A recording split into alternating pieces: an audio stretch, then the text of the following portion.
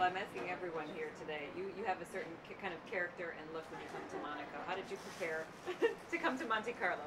Now my wife. no, actually, um, yeah.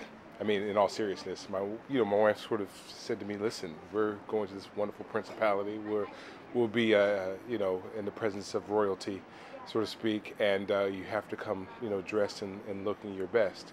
So I have laid out all my suits and and uh, all my attire for my day attire, my evening attire, uh, my black tie attire, everything, and. Uh, so, and actually, I'm, I'm happy that she sort of told me to sort of uh, step it up a little bit.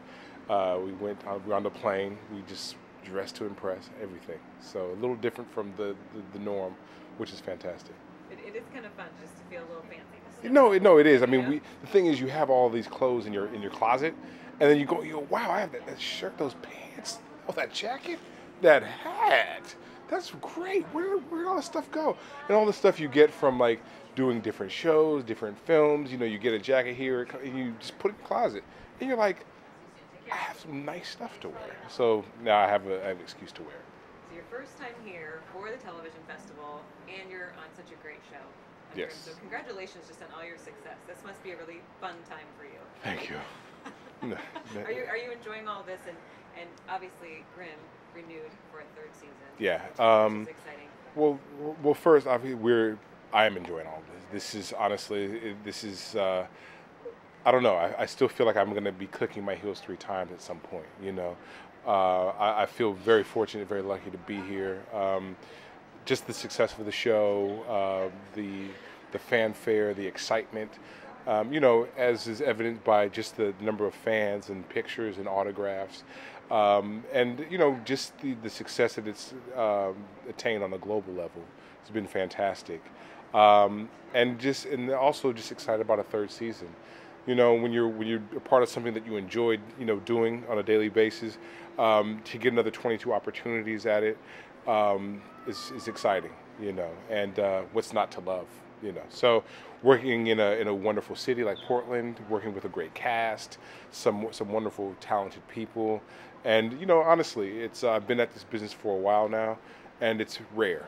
So, uh, in having this opportunity, I've um, I'm going to embrace it and hold on to it for as long as I can. Well, tell me where Lieutenant Griffin left off, where we left off in season two, and anything you can tell us about your character in the show for season two. Well, uh, because of uh, an, an unfortunate incident that happened off camera, I was uh, hobbling around quite a bit uh, at the end of season two. Uh, missed uh, an episode uh, or so.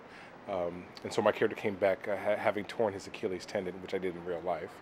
And, uh, and so, um, very painful.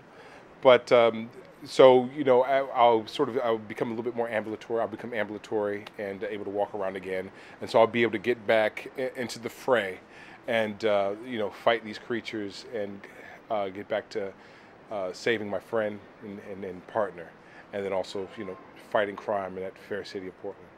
Sounds cool too. Uh, just, just from the cast of this show, it sounds like you have some input on your characters and your storylines. Is that true? So I mean, obviously with your injury, they, they incorporated that. Well, they well yeah, they had to incorporate that and sort of work around it. You know, I don't think I don't, we don't have any input, uh, or I don't have any input on storylines. But I think what we what we do have is sort of the uh, the creative license to sort of shape our characters uh, in in our own image or, or in, in how we see fit.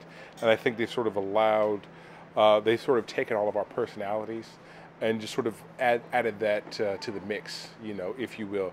We ha- we've had a lot of time um, off the set, uh, dinners with the executives, with the writers, and I think they've got had an opportunity to really learn who we are, learn our personalities, who we are off camera, and uh, you know, I think we're all some very interesting and dynamic and um, uh, smart, intelligent people, and uh, they've sort of they've added that to the mix and added that to our character, and so it makes it a lot more fun uh, to, to get into character, and it's just a little easier, you know, to come to work every day. I have to ask. Um, I have family in Portland, and I just binge on Voodoo Donuts when I'm there. What do you binge on? It's such a foodie town. What do you like to do when, while you're in Portland for your off time?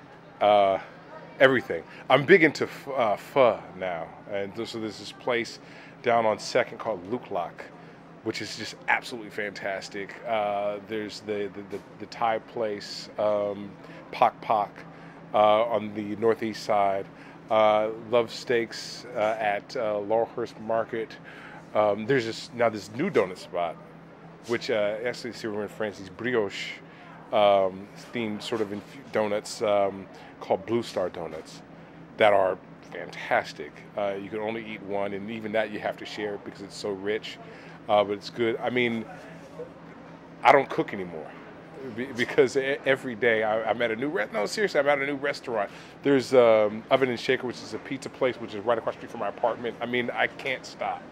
And so, which, but what's great about it is that it is such a foodie town, food town, and it's organic and it's a really farm to table. And so they're really incorporating obviously a lot of the local uh, produce and uh, and vegetables, uh, you know, into the, a lot of the restaurants. So you know you're eating healthy, you know you're eating clean. And for us actors and artists, we have to maintain this, you know, this youthful, young-looking, you know, svelte, uh, you know, um, body, and uh, it makes it a little easier, you know. Uh, except you know when we're drinking beer, you know, in the brew fest and stuff like that. But no, it's good. You don't have too many donuts where you can't button your. Exactly. Exactly. When your wife comes home, she's like, "What have you been doing?" Well, congratulations on the show and the success and just being here. And all Thank you, all Erin. What's going on? So Uh, great to see you. Anything else? Any other projects you're working? on? I know you're busy with Grimm, but any upcoming things? I don't have time? no, I don't have time. Ten months out of the year, Achilles tendon rupture. It's you know, it's all too much. Well, I'm glad you're.